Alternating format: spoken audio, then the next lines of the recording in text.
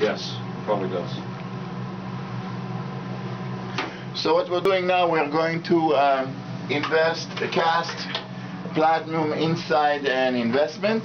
I'm going to put it right out of the kiln right here, right now, with my forks that will prevent me from getting too hot by pulling it. And here it is, come out. And I'm going to make sure I cleaned out all the ash from it by spraying it. And I'm going to lay it down right here and align it with the crucible to touch it. Now I'm going to start the fire. This is hydrogen and oxygen.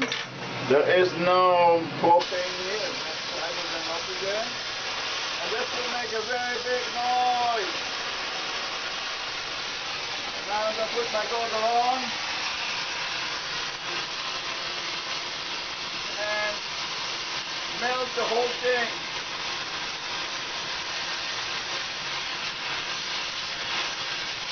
And when it's good and in liquid form, I will release the pressure here and I will let it slide.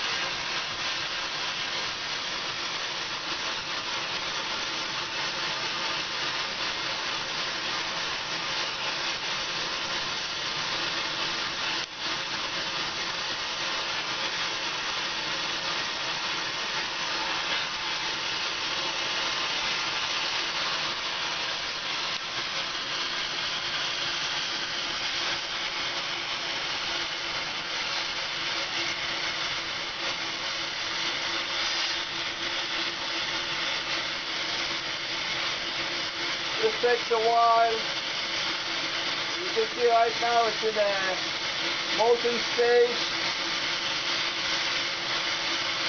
But it's still sticking to the crucible.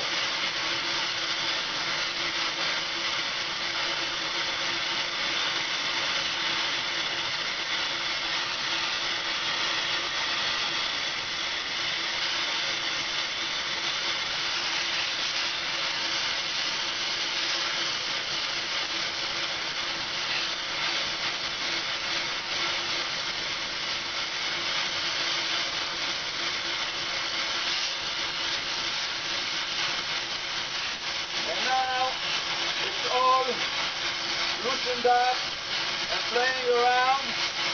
And I'm going to let it go. Done. Why are we screaming? Izzy, why are you talking so loud? Because it was noisy. Okay, so now I'm going to let it finish spinning. When it finishes slowly, slowly gets slower, I'm going to stop it. so wait, so this is what using centrifuge? This is vertical centrifuge. So what's happening? All that molten stuff is getting pushed When by the. in real speed, you know? And now we can now look at it see how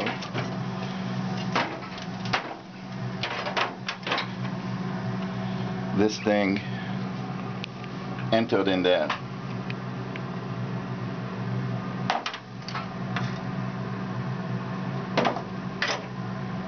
And this thing melted. Mm-hmm. This- The, the crucible? Yeah. Because this is sand, sand is uh, glass, glass melted. Silicon.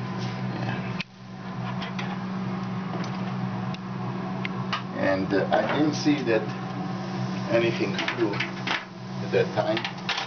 So hopefully it's good. When will we find out? Uh, when this is cooled off and it's shiny and the button is shiny, we know we're in good shape. How long does that take? About five minutes. Okay, I'm gonna stop recording. We'll come back. Sure.